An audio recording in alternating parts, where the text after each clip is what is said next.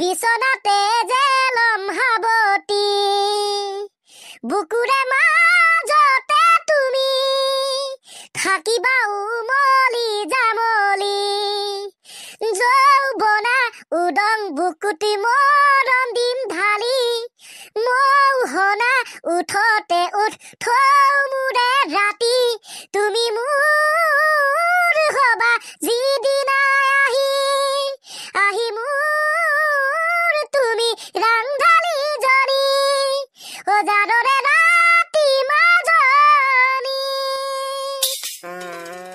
এ মজা মজা মজা মই নকৰাই নোৱাৰিছো বৰ মজা য়েছ য়েছ হৰিৰ ডিচিশ্যনটো ঠিকেই লাগিছে ভাল লাগিল দে গানটো শুনি থেংক ইউ এ পাৰ্টনাৰ কিটা ইয়াতকৈ বেদনা লাগে নে না নেলাগে কচোন ক মানে ইয়াতকৈ বেদনা লাগে নে জাননী জীৱনত শান্তি নহ'বই কি জানি চকু পানী পৰি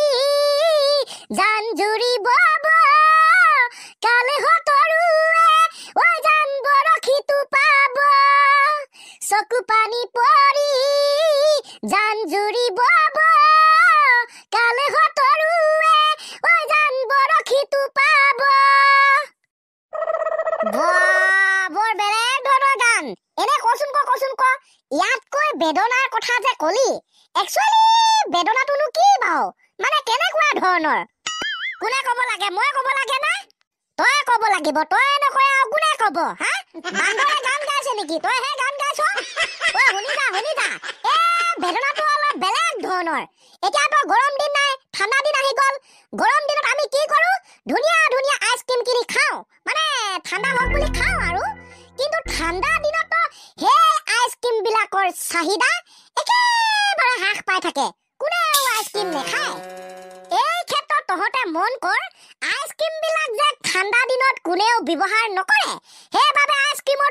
বেজাৰ লাগি যায় মনত বেদনা লাগি যায় যাৰ ফলস্বৰূপে আইচক্ৰীম খিনি পানীলে ৰূপান্তৰিত হৈ টুপ টুপ টুপ টুপকে পৰি নৈ জান জুৰি খাল বিল সেইবিলাক মানে তেনেকুৱা ধৰণে বৈ যায়।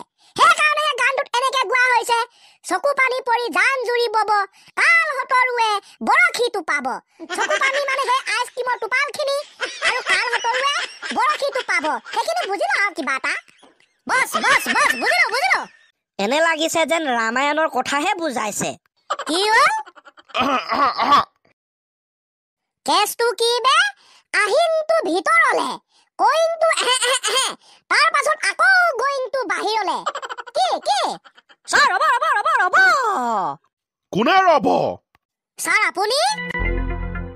তাৰ মানে তহঁতে কি কৈছ মই একো ধৰিব পৰা নাই। ছাৰ আহিনটো ভিতৰলে কইনটো আহা আহা আহা। তাৰ পাছত আকৌ গইনটো বাহিৰলে। মানে আপুনি কেছটো কি ছাৰ অ, এইটো কথা। নাই নাই নাই নাই একো নাই একো নাই।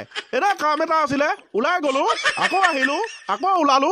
তেনেকুৱা ধৰণৰ এটা পৰিস্থিতি মানে হয় আৰু কিবা এটা। জীৱনত যে ছাৰ এনেকুৱা এটা ভাল কাম আপুনি কৰিছে তাৰ বাবে ছাৰ আমি বহুত সুখী হৈছো। হয় নেকি হয় নেকি? এনে মই ভাল কামটো কৰিলোনো কোনটো? আপুনি নেজানে নেকি ছাৰ?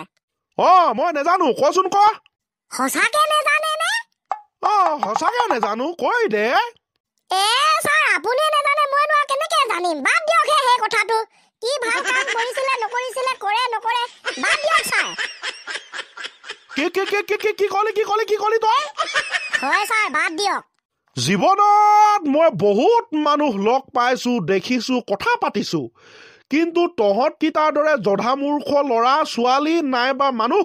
মই ক'তো দেখা নাই। বান্দৰে নাৰিকলৰ মূল ক'ত বুজিব ছাৰ? মানে? ছাৰ সাপেহে সাপৰ ঠেং দেখে বুলি কয়। কথাটো বুজি লওক। অ ৰ ৰ ৰ ৰ। সাপেহে সাপৰ ঠেং দেখে। তাৰ মানে মই কিবা এটা তহঁতক দেখিছো। তহঁতে সাপ গতিকে ময়ো সাপ। তাৰ মানে তহঁতে জধামূৰ্খ ময়ো জধা মোৰ ঐ ৰ ৰ ৰ ৰ কি কি কি কি কি কি আকৌ পৰা কচোন? ছাৰ সাপেহে সাপৰ ঠেং দেখে। খতম bye bye Tata good bye. একো কথাত জিকিব নোৱাৰি ইহঁতকেইটাক এই তহঁতক মই এতিয়া এনেকুৱা ধৰণৰ খাতৰা প্ৰশ্ন সুধিম তহঁতৰ মাথা বেয়া হৈ যাব। Sir we are agree English মাৰে। তই কচোন তই ক তোৰ জন্মদিনত তাৰ মানে বাৰ্থডে দিনা তই কেক কাট না নেকাট? ছাৰ কেতিয়াবা কাটো কেতিয়াবা নেকাটো। মন গ'লে কাটোং মন নগ'লে নেকাটোং। মুঠতে যেতিয়া হ'লেও কাটিছিলি তই। যোৱা বছৰতকৈ তাৰ আগৰ বছৰতকৈ তাৰ আগৰ বছৰ কাটিছিলোং ছাৰ। ৰ ৰ ৰ মই কুৱেশ্যন সুধি আছোং। ঐ চানি তোৰ বাৰ্থডে দিনা বাৰ্থডে কেক কাটি পাইছনে পোৱা নাই? পাইছোং পাইছোং পাইছোং কাটোং কেতিয়াবা কেতিয়াবা। অকে অকে আৰু উৰেকান্ত তই সত্য সদায় জয় তাৰ মানে কাটি পাইছোং ছাৰ অকে তিনিওটাই তই নিজৰ জন্মদিনত কেক কাটি পাইছ বাৰ্থডে কেক এতিয়া তহঁতে ক হৰি প্ৰথমতে তই ক জন্মদিনত তাৰ মানে তোৰ মোৰ বা আমাৰ জন্মদিনত কিয় আমি বাৰ্থডে কেক কাটি চেলিব্ৰেশ্যন কৰোঁ কি হ'ল হাঁহি থকা দাঁতকেইটা হঠাৎ লুকাই গ'ল যে মোৰ ভাগৰ প্ৰশ্নটো চানিলে ঠেলি দিলো। মোৰ ভাগৰ প্ৰশ্নটো উৰে কান্তলে ঠেলি দিলো। মোৰ ভাগৰ প্ৰশ্নটো ছাৰ আপোনালৈ ঠেলি দিলো। এতিয়া উত্তৰটো আপুনিয়ে কওক। কি হ'ল? কি হ'ল? নাই নাই নাই নাই। আজি এইবিলাক লিলিমাই দেখাই থাকিলে নহ'ব। উত্তৰ দে। ৰ'ব ছাৰ। আধা ঘণ্টা বা এঘণ্টা। ৰ'ব ছাৰ। ত্ৰিছ মিনিট নাইবা ষাঠি মিনিট।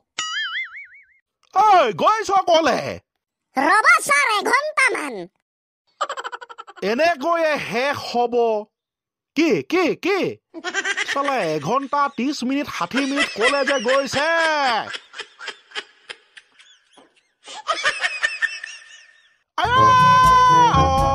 অকলে অকলে থাকি আমনি লাগিছে।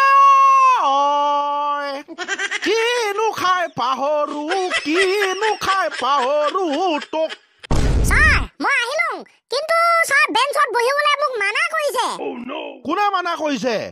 এজন বাটৰুৱাই। য়েছ ছাৰ ছাৰ অ' বঢ়িয়া বঢ়িয়া দে ক এবাৰ ক। কি কি তহঁতে মানে কি হ'ল কি নহ'ল ক? ছাৰ মোৰ জন্মদিনত যে মই কেক কাটো সেই কথাটো মই ঘৰত সুধিব গৈছিলো। মানে কিয় কাটো? দেউতাই মায়ে ক'লে। অ হৰি কিয় জন্মদিনত কেক কাটে সেইটো আমিও নেজানো। আমাক ককাইহে শিকাইছিলে সেই ওচৰ ঘৰ ককাই যে সি শিকাইছিলে। বোলে এনেকে তেনেকে কেক কাটিব লাগে। তই পাৰ যদি তাকে সুধি লগে যাচোন যা। কথা মতে কাম হ'ল মই গ'লো সুধিলো বোলো ককা কিয় মই মোৰ জন্মদিনত কেক কাটো? ককাই ক'লে এ ভাইটি আজিকালি বিনা পইচাত একো কামেই নহয়। তই পইচা পঞ্চাছ হাজাৰ দে মই উত্তৰটো কৈ দিম। পঞ্চাছ হাজাৰ? হয় ছাৰ এই সাধাৰণ উত্তৰটোৰ কাৰণে মই বাৰু কিয় পঞ্চাছ হাজাৰ দিম? ছাৰ আপুনিয়ে কওকচোন গতিকে মই উত্তৰটো জানি নাহিলো। অ' হ'ব হ'ব দে একো নাই একো নাই একো নাই। দে দে দে এইবাৰ কোনে কবি কোনে কবি বেলেগ এটা কচোন ক। ছাৰ একচুৱেলি মই যেতিয়া কেক কাটিছিলোঁ সেইটো বেছি দিন হোৱা নাই। আহ, যেতিয়া মোবাইল কম্পিউটাৰটো নহয় টিভিৰ প্ৰচলনটো বেছি হৈছিলে তেতিয়া মই একদম কাটিছিলোঁ। উম পাছৰখিনে কি ছাৰ? আমিতো বেলেগৰ কথাত গুৰুত্ব নিদিওঁ। কিন্তু যেতিয়া বাতৰি চাতৰিবিলাক হয় আৰু অ আমুক মানুহে এনেকে কেক কাটিছে তেনেকে কেক কাটি নিজৰ জন্মদিন উদযাপন কৰিছে। মই বোলো কি আচৰিত? দেউতাৰ মাও ক'লে বোলে কি আচৰিত? ঐ তোৰ জন্মদিনত তয়ো তো কেক কাটিব পাৰিবি? আৰু সেইটো কোৱাৰ পাছৰে পৰা যেতিয়াই বাৰ্থডে হয় তেতিয়াই মই মোৰ জন্মদিনত কেক কাটো। কিন্তু হৈ পৰিলে আচল কথাটো এইটো কিয় কাটো? সেইবাবে ছাৰ আপুনি উত্তৰটো সোধাৰ লগে লগে মই ঘৰত গলো। পটককে দেউতাই একজন সাংবাদিকলৈ ফোন কৰিলে। বোলে তহঁতে এনেকে তেনেকে বাতৰিতো দেখাই থাক টিভিত। কিয় কেক কাটে? সাংবাদিকজনে ক'লে বোলে দাদা এতিয়া অকণমান ৰ'বচোন। মই এই ৰিপৰ্টিং এটা কৰি আছো। নিউজ অলপ কৰি আছো। মই পাছত ফোন কৰিম। বুজিতো পালে ছাৰ। যেতিয়া সাংবাদিকজনে ফোন কৰিব তেতিয়াহে উত্তৰটো মই আপোনাক ক'ব পাৰিম। বোপাই? অ' বোপাই হ'ব নকলেও হ'ব। উৰেকান্ত তই বা কি ধৰণৰ কথা লৈ আহিছ কচোন ক। মইতো নাজানো ছাৰ কি কৰিব? মই এতিয়া ঘৰত গৈ মেলি কনফাৰ্ম হৈ আহিলো। এঘণ্টা ধৰি চিন্তা চৰ্চা কৰি মই জানি আহিলো যে মই মোৰ দাদা বাইদেউহঁতক দেখি কেক কাটো। একেদৰে সেই দাদা বাইদেউহঁতে সিহঁততকৈ আগৰ প্ৰজন্মৰ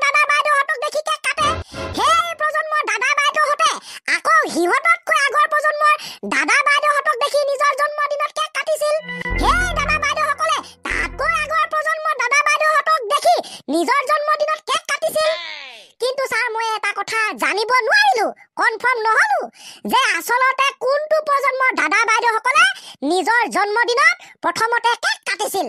সেই কথাটো গম পোৱা হলে সিহঁতক সুধি মই জানিব পাৰিলোহেঁতেন যে আমি আমাৰ জন্মদিনত কিয় কেক কাটো। গম যে নেপালো সেইকাৰণে উত্তৰটো নেজানিলো ছাৰ। হ'ব ল'ৰাকেইটা এই মহাপণ্ডিত কেইটা আৰু নকলেও হ'ব দে। তহঁতৰ কথা আৰু ফুলনি মানে বাগিচা বাগিচা মানে ফুলনি। এই গানটো শুনা একেই কথা। Bye bye. ফুলনি মানে বাগিচা বাগিচা মানে ফুলনি। ফুলনি মানে বাগিচা বাগিচা মানে ফুলনি। ফুলনি মানে বাগিচা বাগিচা মানে ফুলনি ফুলনি মানে বাগিচা বাগিচা মানে ফুলনি ফুলনি মানে বাগিচা বাগিচা মানে ফুলনি